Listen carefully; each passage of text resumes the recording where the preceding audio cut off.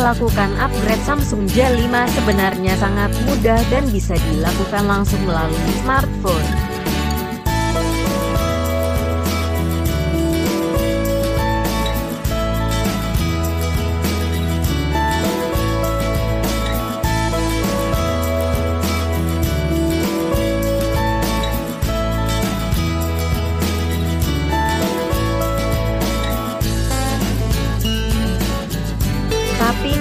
File yang di-download ukurannya cukup besar sekitar 1 GB maka saya putuskan untuk upgrade secara offline melalui PC.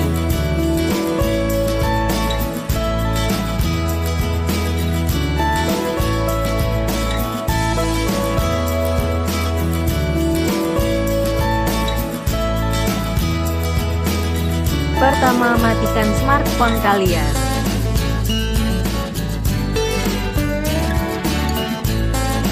Setelah benar-benar mati kemudian tekan tombol power, tombol home, dan tombol volume down secara bersamaan.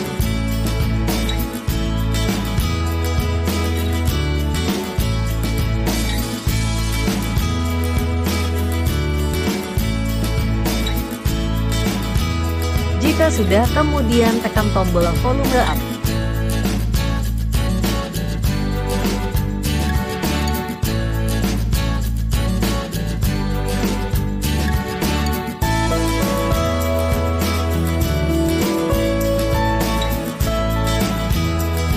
Lalu sambungkan kabel USB dari smartphone ke PC.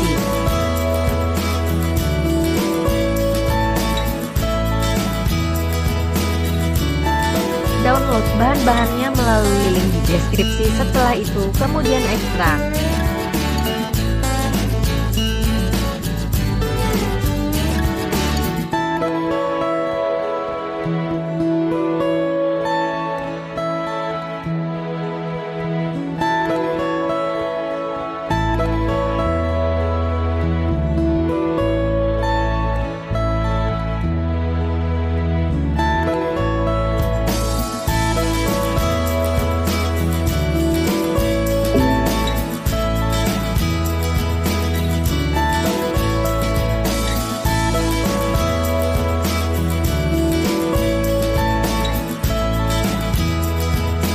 Lalu jalankan aplikasi Odin.